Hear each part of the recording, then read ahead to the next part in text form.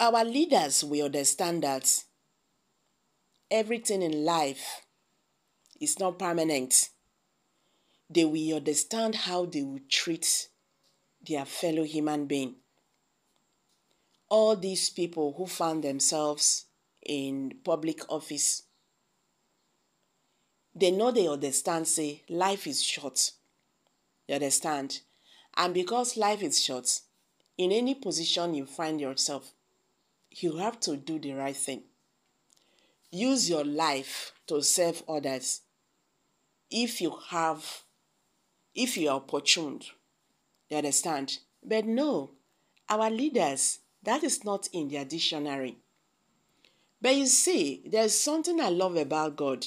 These people end, you know, they end where you might have everything, but last, last, you will regret. Look at the life of uh, the Abba Kyari, the the former police, whatever, whatever, you know, and all that that is in, in jail, is in prison today. Those people, when we say don't arrest, all of them now, they did the same cell. They see themselves.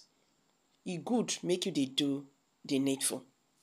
Drama as the former governor of Central Bank, Governor Godwin Emefiele, dodges camera in court, and Nigerians gone they ask why they hide. Me self, when I see the matter, I don't understand why they hide. Why are you ashamed of the camera? Why? There is no need. Godwin Emefiele, the, suspect, the suspended governor of the Central Bank of Nigeria, CBN, avoided cameras when he arrived at the Federal uh, Capital Territory, FCT, High Court on, on, on Thursday. You see, this to show you that the man is not innocent of what they are even accusing him. Even though we know, say, Bad Belesti did the matter, you understand, against him. He hand not they pure. Because he, he, why is he hiding his face? All these things na shame. He don't they shame. Ego me. So na me be this. So na me be this. And if na true true say in hand dey clean, I'm not sure say go dey behave like this he dey behave now. Look am.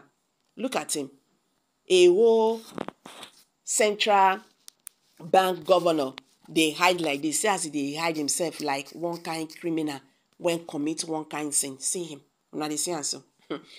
Emefiele, who has been in, in the custody of the Department of State Service DSS since his arrest after President Bola Tinubu suspended him on June 9 on exchange pleasant, uh, pleasantries with his team of lawyers in court. When operatives of the secret police brought him to court, journalists were not allowed to freely take pictures and capture them on camera as the, the fraudulent lawyers also shaded him. Daily Trust had reported how the federal government withdrew the legal possession of firearms uh, charges it fight against the suspended CBN governor and fight fresh charges. One of the counts against Emefiele is conferring unlawful advantages. He was also accused of engaging in conspiracy and procurement fraud, among others. Okay. In another story, in another story, uh, again, DSS grants Nnamdi Kanu access to his doctors. For the second time in a month, the Department of State Service, DSS, has allowed the embattled leader of the uh, proscribed indigenous people of Biafra, IPOB, Nnamdi Kanu, to have access to his personal doctors. Okay, this is a nice one. Uh, Gist Niger understands Kanu was allowed access to an ENT surgery in Abuja on Wednesday. Uh, this was made public on Thursday by the IPOB leader's lawyer Ifeanyi Ejefo via his Twitter account, adding that the doctor was recommended by Kano's wife. Back in July, Kano also meets with his personal doctors in Abuja outside the DSS facility but under their supervision.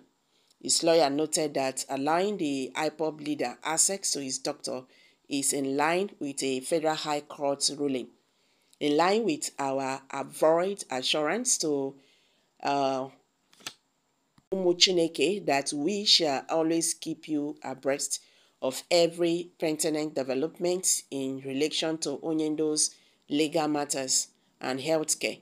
We are pleased to announce or to inform Umuchineke that pursuant to the judgment of the Federal High Court, Abuja, delivered by Honorable Justice B. F. M. Nyako on the 20th day of the July 2023 and consequential orders made therein directing the State Security Service SSS to allow Onyendu Mazin Kanu access to medical doctors of his choice and to be examined outside the facility of the SSS. Onyendu was yesterday allowed access to his second medical doctor of his choice.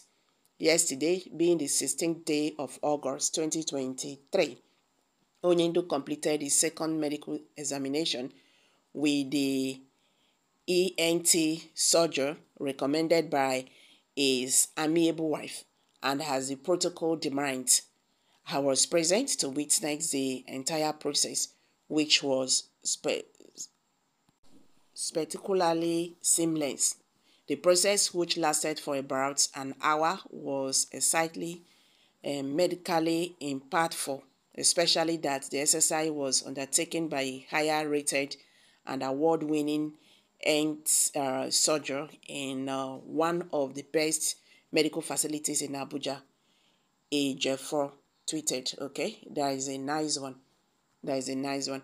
So, guys, I'm dropping it here. What's your take on this? Let's hear from you. Kindly share your thoughts below the comment section, please. Do not forget to subscribe to this channel.